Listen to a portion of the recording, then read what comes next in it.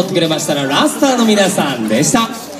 えそれでは前半はもうあと数チームとなってまいりました。エントリーナンバー12番参ります。え悪くて最高な少年たちという意味で名付けたバッドボーイズ。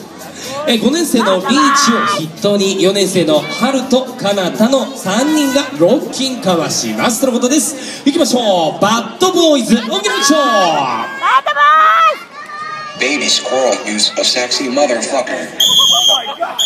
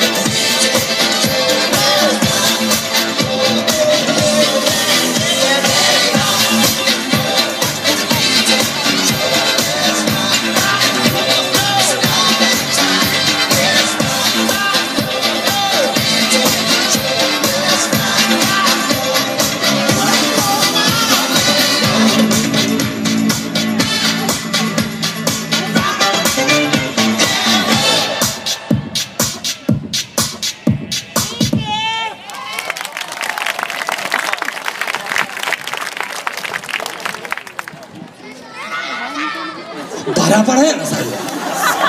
え三名さバラバラやったやん。じゃあどこに聞こうか。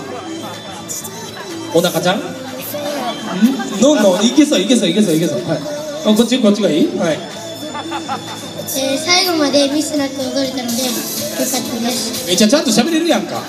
じゃあサムさん聞きます。いかがでしたか？はい、お疲れ様。えっとね、なんだろうな、こういう小学生のロッキンって、はい。なんか、俺が思うにね、大きく2つに分かれて、はい。割と基本に忠実にかっちりこう、うんうん。決め決めでやってくるチームと、こうなんかもう体バラッバラで動いて、ん。でもなんかこう、ファンキーでかっこいいみたいなね、彼らはそっちのタイプだと思うんだけど、ですね。決して揃ってないし、うん。あのーでもグルーヴとはい。なんかこう楽しさみたいなのがすごい伝わってくる。思わず拍手しちゃうみたいなね。なりますねもう本当に。うん実はすごく振り付け的には難しいものすごい難しいことやってて、止まるとこかっちり止まったらもっとかっこよくなるんだけど、うん。